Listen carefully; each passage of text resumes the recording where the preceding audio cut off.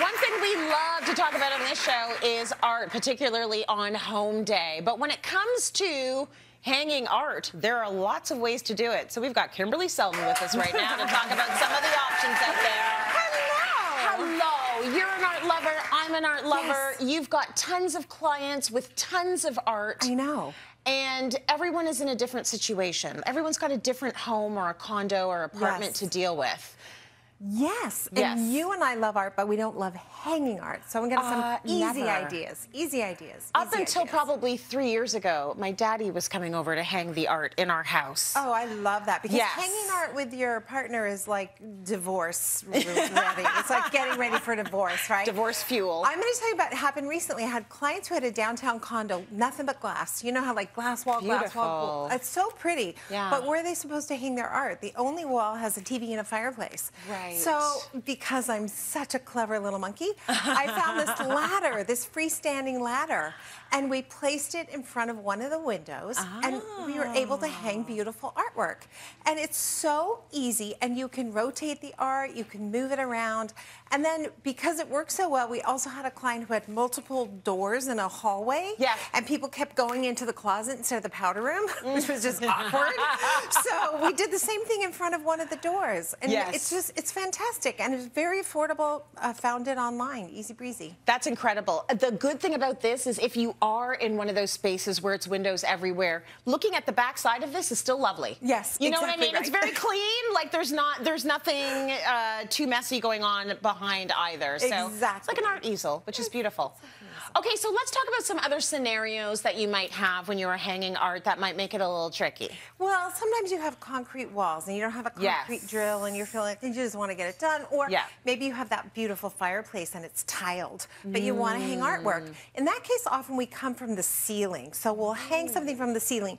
This painting over here looks like it's floating in space magically, but I couldn't actually, figure it out. I know, right? It's just fishing line. There's So you can line. completely hide how you have hung the painting. Can you see that? Actually, you still can't see it. it's hard to see, yeah. yeah, but I promise you, it's there. Oh, there we go. it's Can you sturdy kind of? and it's strong. Yeah. Yes. That's amazing. And then here we've got chain. So Yes, so we can on- see that. Right. Yes. Thank goodness. Yes, the glasses are working. So depending on whether or not you want to show off how you're hanging it, you've got some options there. Yes. And I will say I got these beautiful paintings, all original art from a fantastic gallery called Art Interiors. Yes. I've been going to this gallery for 30 years. The girls who own it started selling art out of the back of their car. Oh, my goodness. Very affordable, not intimidating. So if you're one of those people who's intimidated by art, go, there. Yeah, yes, go I've been there and it's lovely. They're Yes. fantastic. Okay, so we've got the ceiling happening here uh, Mm-hmm. to deal with the, these issues. What have we got there? Like those are that's a great way to hang art that It- I don't think I've ever seen before in It's someone's so house. pretty. So what we have are two pieces of acrylic and then these these plugs and they're called standoffs. And Okay. they come in different sizes and different finishes. Hold that up for us. We But want to get a shot of that. It's just a way that you could pull ah. your artwork away from the wall, make it look like it's floating. And sometimes what happens, we have clients who have beautiful pieces of art, but they frame them in 1980. And they Yes. look really tired. And so this is a way of re-energizing it, Yeah. giving it some interest. And it's great if you have a bright colored wall, fun wall, or even wallpaper. It looks Yeah. amazing. You know what else it's amazing for? What? Well, you know how your kids make such beautiful art from about kindergarten all the way to like grade seven? Yes. And there's a lot of it. There's a lot of it. It used to go all over the fridge with magnets, all which we never do anymore. Yeah.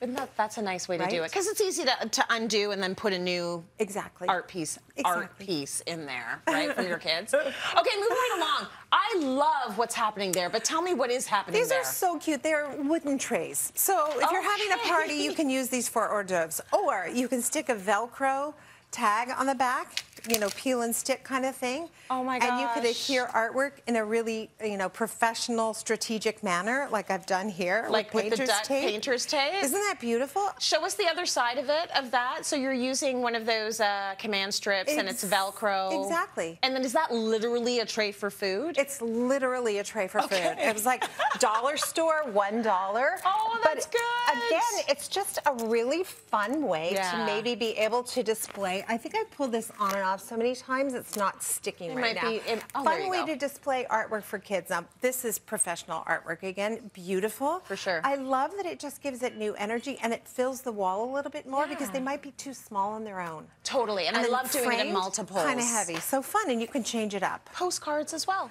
Postcards. which is really nice when like you, you can display your travels. Okay, uh, very cool there. Just Uh, suspension cables. suspension cables. Right? And the advantage again is that you can switch out the art as often as you like. You don't have to put new holes in the wall. And speaking of Yes. holes in the wall, yeah.